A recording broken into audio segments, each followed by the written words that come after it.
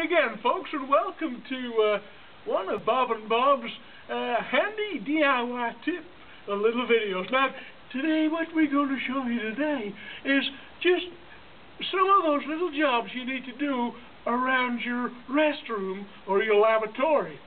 Uh, now, Bob's going to be joining us in just a second, and he's going to show us uh, some things here on the lavatory. Oh, uh, what?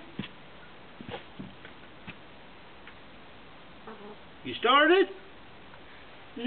Gee, Bob, yeah, we. Gee, oh man. Oh man. God.